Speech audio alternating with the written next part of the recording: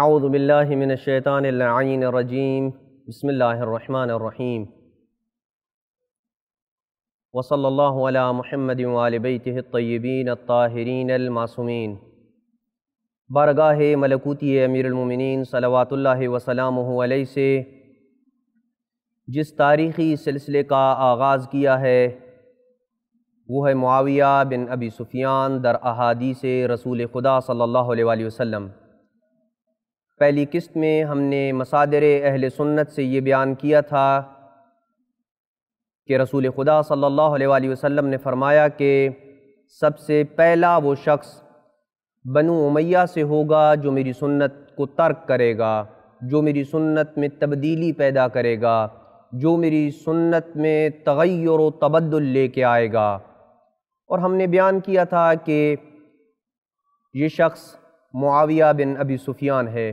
لیکن مزید آنے والی آج کی گفتگو میں ہم کچھ شواہد بیان کریں گے جن سے مزید یہ ثابت ہو جائے گا کہ اس حدیث کا مصداق اول من یبدل سنتی رجل من بنی امیہ سے سب سے پہلے جو میری سنت کو تبدیل کرے گا وہ بنی امیہ کا ایک شخص اور ایک فرد ہوگا وہ معاویہ بن ابی سفیان ہی ہیں۔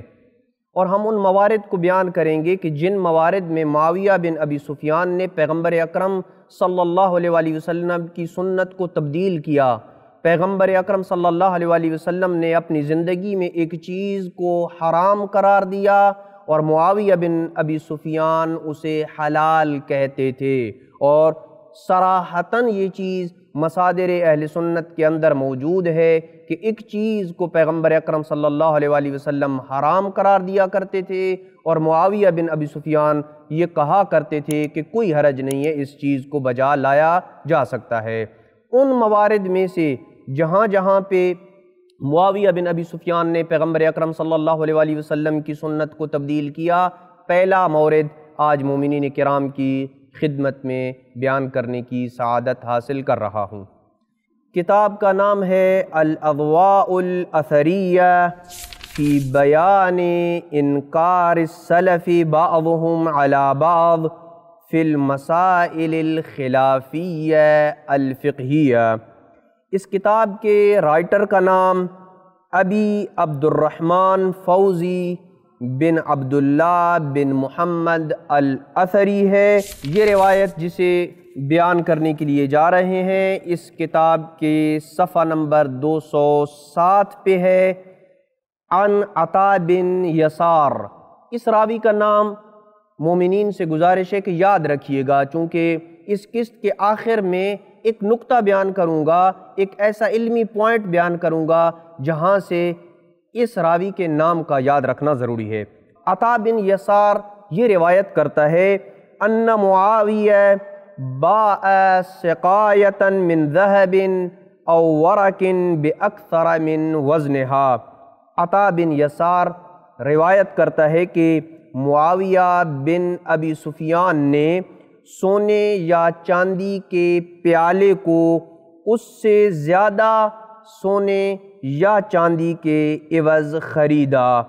فقال ابو دردہ ابو دردہ جو صحابی رسول خدا ہیں، انہوں نے فرمایا، سمعت رسول اللہ صلی اللہ علیہ وآلہ وسلم یقول، کہ میں نے رسول خدا صلی اللہ علیہ وآلہ وسلم کو یہ کہتے ہوئے سنا، ینہا ان مثل هذا وہ اس قسم کے معاملے کو منع کرتے تھے کہ ایسا کوئی معاملہ آپ نہ کریں کہ جس میں سونے یا چاندی کو اس کے زیادہ وزن کے ساتھ آپ بیچیں۔ اللہ مثلاً بمثل، مگر یہ کہ دونوں چیزیں وزن کے اعتبار سے برابر ہونی چاہیے فقال معاویہ جب ابو دردہ نے یوں کہا تو معاویہ نے ابو دردہ کو کیا جواب دیا؟ ما ارا بہذا بأسن میں اس میں کوئی حرج نہیں دیکھتا ہوں کہ ایک چیز کا جتنا وزن بنتا ہے، اس کو اس کے زیادہ وزن کے ساتھ بیچنے میں کوئی حرج نہیں ہے۔ رسول خدا صلی اللہ علیہ وآلہ وسلم اس بے و شراء کو، اس خرید و فروخت کے معاملے کو منع کرتے تھے، حرام سمجھتے تھے۔ لیکن معاویہ کہہ رہے ہیں کہ نہیں، میں اس کو منع نہیں سمجھتا ہوں اور اس کو کوئی غلط چیز نہیں سمجھتا ہوں۔ کوئی حرج نہیں ہے کہ آپ ایک چیز کا وزن جتنا بنتا ہے، اس کو، اس کے زیادہ وزن کے ساتھ جو ہے وہ بیچیں۔ میں اس کو منع نہیں سمجھتا ہوں، اس کو حرام نہیں سمجھتا ہوں۔ یعنی رسول اللہ صلی اللہ علیہ وآلہ وسلم جس چیز کو حرام قرار دیں، معاویہ بن ابی سفیان اس کو حلال قرار دے رہے ہیں۔ جبکہ یہ چیز مسادر اہل سنت کے اندر بھی موجود ہے اور شیعہ مسادر میں تو یہ یہ بات روز روشن کی طرح واضح ہے کہ رسول خدا صلی اللہ علیہ وآلہ وسلم کا حلال کردہ، قیامت تک حلال کردہ ہے۔ پیغمبر کا حرام کردہ، قیامت تک حرام کردہ ہے۔ تو معاویہ بن ابی سفیان کو یہ کیسے جرت ہو گئی کہ پیغمبر اکرم صلی اللہ علیہ وآلہ وسلم کی حرام کردہ چیز کو کہیں کہ میں اس کو نہیں سمجھتا ہوں کہ وہ حرام ہے، میں اس میں کوئی حرج نہیں سمجھتا ہوں، اس قسم کا کوئی معاملہ آپ کر سکتے ہیں۔ ابو دردہ کہتا ہے، من یعذرنی من معاویہ اخبرہ ان رسول اللہ صلی اللہ علیہ وآلہ ویخبرنی ان رأیہی۔ ابو دردہ کہتے ہیں کہ معاویہ کے مقابلے میں کون ہے کہ جو میرا ہاں عذر قبول کرے۔ میں اسے رسول خدا صلی اللہ علیہ وآلہ وسلم کی رائے بتاتا ہوں اور وہ مجھے اپنی رائے بتاتا ہے۔ میں اسے کہتا ہوں کہ رسول خدا نے اس معاملے کو سودی معاملہ قرار دیا ہے اور معاویہ بن ابی سفیان کہتے ہیں کہ کوئی حرج نہیں ہے، یہ معاملہ سودی نہیں ہے۔ تو کیا یہ تصرف یہ عمل کرنا پیغمبر اکرم صلی اللہ علیہ وآلہ وسلم کی سنت میں تبدیلی لانے کے مترادف ہے یا نہیں؟ پیغمبر اکرم صلی اللہ علیہ وآلہ وسلم کی سنت کو پس پش ڈالنا ہے یا نہیں؟ آئیے یہ اندازہ لگائیں کہ ایک انسان کے اندر اتنی جرت ہے کہ وہ ببانگ دہل کہہ رہا ہے۔ کہ رسول خدا جس معاملے کو حرام سمجھتے تھے، میں اس معاملے کو حرام نہیں سمجھتا ہوں۔ میں نہیں سمجھتا کہ اس کو انجام دینے میں کوئی حرج ہے۔ یہ رسول کی مخالفت نہیں ہے، یہ اللہ کی کلام کی مخالفت ہے۔ اس لیے کہ پیغمبر اکرم صلی اللہ علیہ وآلہ وسلم جس چیز کو حرام کہتے تھے، یہ اللہ کے حکم سے حرام کہتے تھے۔ پیغمبر اکرم جس چیز کو حلال کہتے تھے، وہ اللہ کے حکم سے اسے حلال کہتے تھے۔ تو پیغمبر کے حکم میں تبدیلی کرنا، پیغمبر کی سنت میں تبدیلی کرنا، یہ اللہ کے حکم اور اللہ کی کلام میں تبدیلی کرنے کے مترادف ہے۔ یہ وہ پہلا مصدر ہے جس سے یہ بات واضح اور عیاں ہو جاتی ہے الاضواء الاثریہ کہ جس میں واضح انداز میں لکھا ہوا ہے کہ معاویہ بن ابی سفیان سودی معاملے کو جائز قرار دیتے تھے اور سود کو جائز سمجھتے تھے، جیسے کہ اس روایت میں بڑے واضح انداز میں بیان کیا گیا ہے۔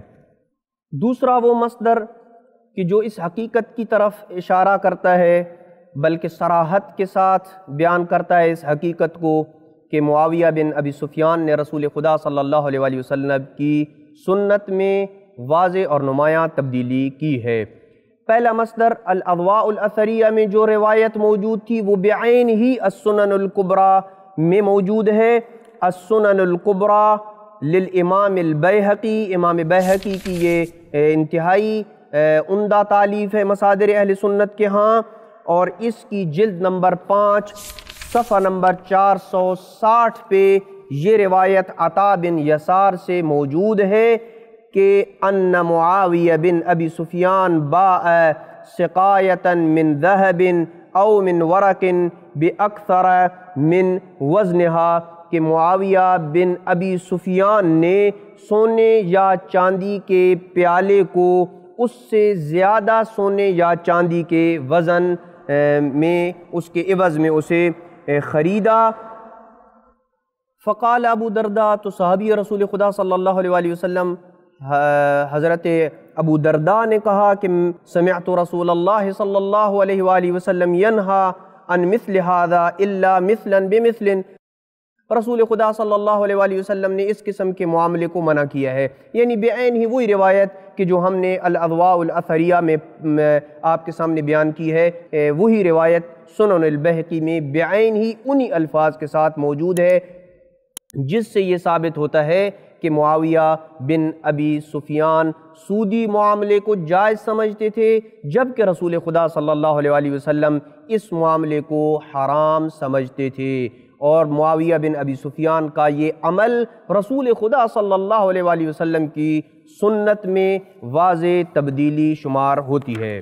یہاں تک دو مصادر ہم نے بیان کیے وقت میں کمی کو مد نظر رکھتے ہوئے ہم انہی دو مصادر کی اوپر اکتفا کرتے ہیں، لیکن ایک نقطے کی طرف اشارہ کرنا ضروری سمجھتے ہیں کہ مسند الامام احمد بن حنبل کی علمی خیانت کی طرف اشارہ کرتا چلوں۔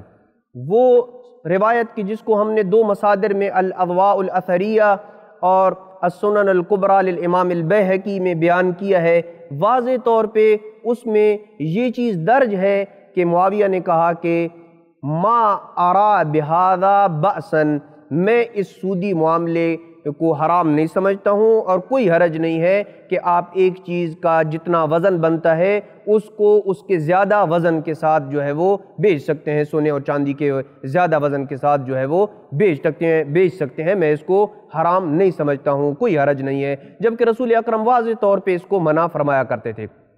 اب یہاں پہ دیکھیں کہ امام مسند احمد بن حنبل نے اپنی کتاب میں اس جملے کو حذف کیا ہے کہ ما ارا بہذا بأسن میں اس میں کوئی حرج نہیں سمجھتا ہوں۔ آئیے ملاحظہ کریں۔ مسند الامام احمد بن حنبل، جز نمبر پینتالیس یعنی جلد نمبر پینتالیس ہے۔ صفحہ نمبر پانچ سو بیس ہے۔ حدیث نمبر ستائیس ہزار پانچ سو اکتیس ہے۔ اور یاد رہے کہ روایت کا راوی عطا بن یسار ہے۔ یعنی بڑے مزے کی بات یہ ہے کہ عطا بن یسار ہی روایت کرنے والا ہے۔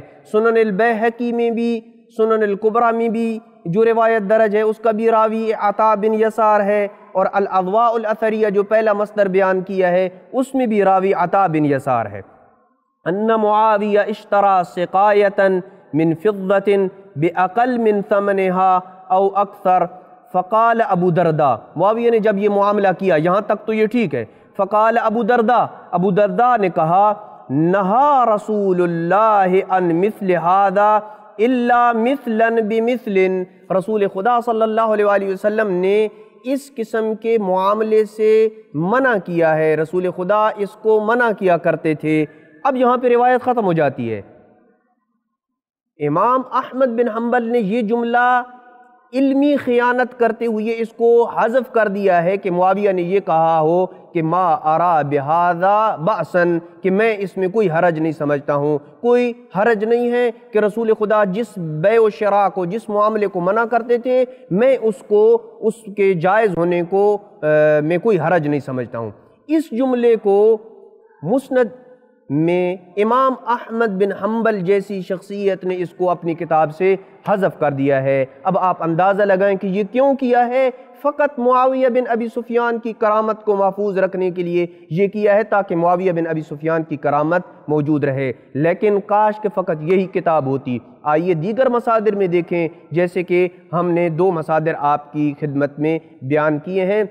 جس سے واضح طور پہ یہ ظاہر ہوتا ہے کہ معاویہ بن ابی سفیان سودی معاملے کو جو روایت میں بیان کیا ہے، اس کو جائز سمجھتے تھے اور پیغمبر اکرم صلی اللہ علیہ وآلہ وسلم اس کو منع فرمایا کرتے تھے۔ یہ سنت رسول میں واضح تبدیلی ہے اور جو سنت رسول میں تبدیلی لائے، وہ اللہ کی شریعت میں تبدیلی لانے والا ہے۔ اور جو اللہ کی شریعت میں تبدیلی لانے والا ہو، اس کے متعلق مسلمانوں کا کیا موقف اور کیا کردار ہونا چاہیے؟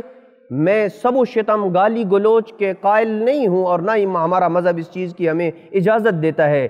ایسا شخص کہ جو رسول خدا صلی اللہ علیہ وآلہ وسلم کی سنت میں واضح طور پہ تبدیلی لے کے آئے، اس کا کیا مقام ہونا چاہیے؟